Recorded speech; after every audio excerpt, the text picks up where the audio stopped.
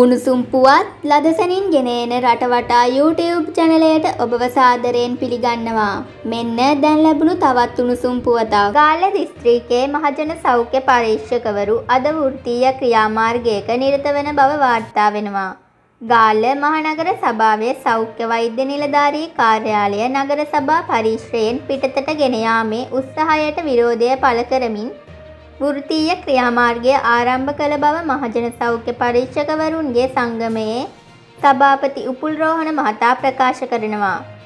මේ තීරණය වෛද්‍යවරයෙක් සහ පළාත් පාලන ආයතනයේ උපසභාපතිවරයෙක් සමග ඇති වුණ වචන හුවමාරුවක ප්‍රතිඵලයක්. මේ පෞද්ගලික සිදුවීමට උත්තර හොයන්නේ නැතුව ඒකේ තියෙන ව්‍යුහාත්මක වෙනසක් කරන්න රජයේ වෛද්‍ය නිලධාරීන්ගේ සංගමය දැඩි ලෙස බලපෑම් කරලා අනවබෝධයෙන් සෞඛ්‍ය පරිපාලනය මේ සම්බන්ධයෙන් තීරණ අරගෙන පළාතේ සෞඛ්‍ය පිළිබඳ බලධාරීත්වය දරන පළාත් පාලන ආයතනය ප්‍රතික්ෂේප කරලා මූල්‍ය ප්‍රතිපාදන සපයන ආයතනය ප්‍රති ප්‍රතික්ෂේප කරලා මේ කටයුත්ත කරන්න බෑ කියන මතේ අපි ඉන්නවා. අනෙකුත් සෞඛ්‍ය වෘත්තීය සංගම් නොසලකා රජයේ වෛද්‍ය නිලධාරීන්ගේ සංගමයේ බලපෑම් මත ප්‍රතිපත්තිමය තීරණ ගැනීමෙන් අර්බුදකාරී තත්ත්වයක් නිර්මාණය විය හැකි බව උපුල් රෝහණ මහතා පවසනවා.